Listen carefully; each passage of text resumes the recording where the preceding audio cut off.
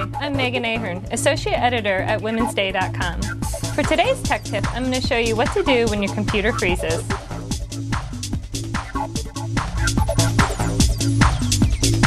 You can tell your computer is frozen when it's unresponsive to clicks of the mouse. Today I'm going to give you three possible solutions for the problem.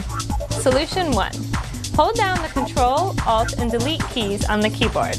A pop-up window should appear on your screen. Within the pop-up window, click on Task List and you'll see a list of programs currently running.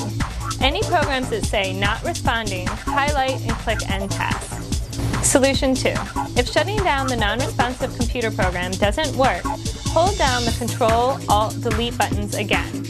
This time, when the pop-up window appears on your screen, choose to shut down and restart your computer. Solution 3. If a pop-up window does not appear after pressing down the Control, Alt, and Delete buttons, as a last resort, you can press your power button until your computer completely shuts down. Wait 10 seconds and then power it back on. I'm Meghan Ahearn and you've been watching Tech Tips.